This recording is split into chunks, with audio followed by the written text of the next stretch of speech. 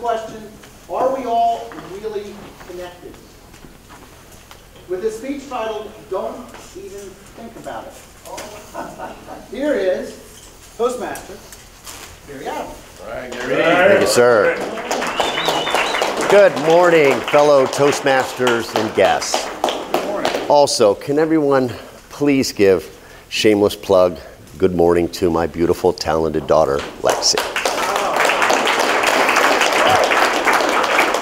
Couldn't resist the shameless plug. Don't even think about it. How many of you had your parents say those words to you when you were a kid? All of you.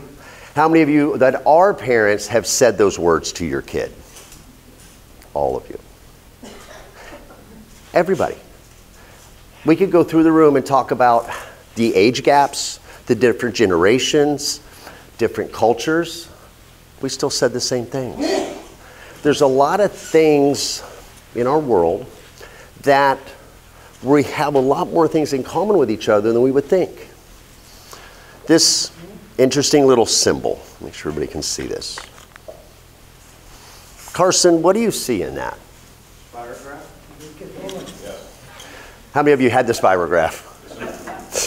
Lexi, you don't even know what it is, do you? it's okay.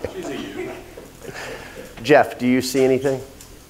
He took my answer, spirograph. Amy, give me something better than spirograph. Venn diagram. I love Venn diagrams. anyway, Amy, Synchronized swimmers. si- Really good acid. really good acid. There we go. So, who can tell me what are the three primary shapes? Okay, we got a square, we have a circle, we have a triangle. In what culture? Why? Jordan. Why are those the three primary shapes?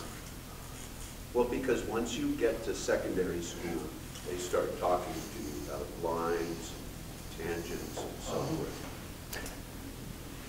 Do y'all think that maybe, what's that, Kelly? Circle's one. You can't make a shape with just two. Triangle's three, and square's four. A self aware being, even without the influence of education, would end up drawing a circle, a triangle, and a square. Whether you're from China, Africa, America, doesn't matter. The foundation behind what defines us, yes, we all have the same skeletal system, but logic and reason is something we have in common with everyone everywhere. I was camping up in the mountains when, oh, I would say 20 plus years ago. And do I have an extra page? Yes. I was trying to become a better person. I wanted to be a better dad to my daughter. I wanted to do more than I had.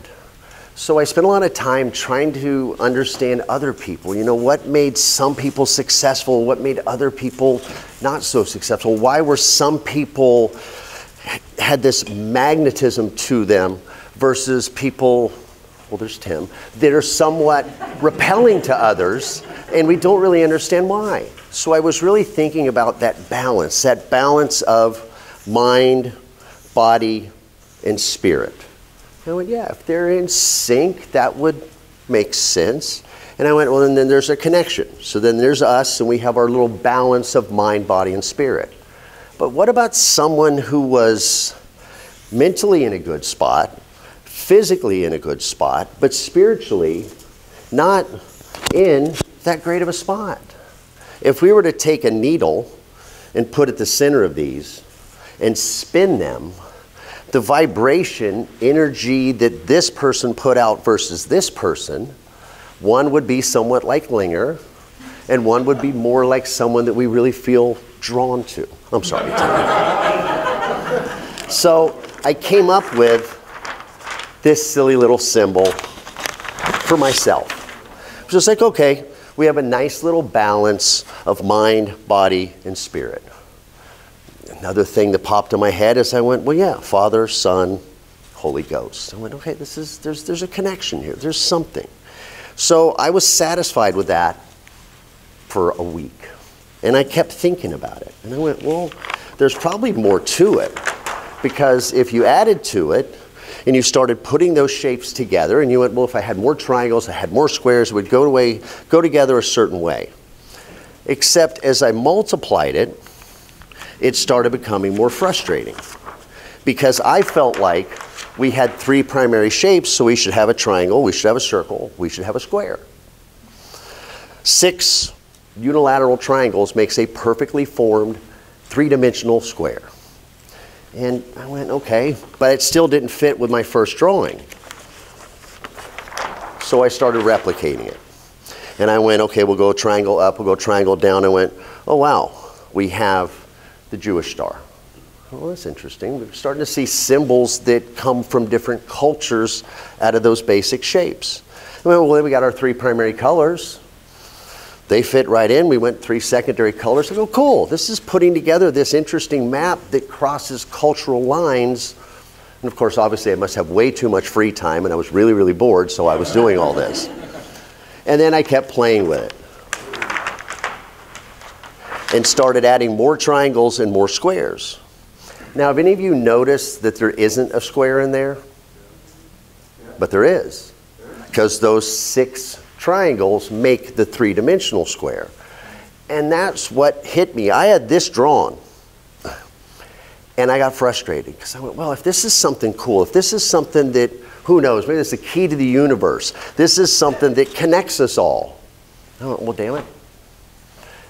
There's no square. We have circles, we have triangles, and the three primary shapes, so there has to be a square. And then I realized that it was in there. I was also upset that there was that symbol that I found from certain cultures. And I went, well, if you unfold that box, the six sides of the box created other symbols that we weren't even aware of. And then, of course, I kept going. I went, well, we've got the clock pattern fits in here, our seasons fit in here, and I can't believe I'm out of time. What this symbol really meant to me as I started putting more and more of it together is it helped me understand a poem. It was William Blake's To See the World in a Grain of Sand, to see heaven in a wildflower, eternity in the palm of your hand, and infinity in an hour. But then I'd probably suggest don't even think about it. Thank you, Toastmasters.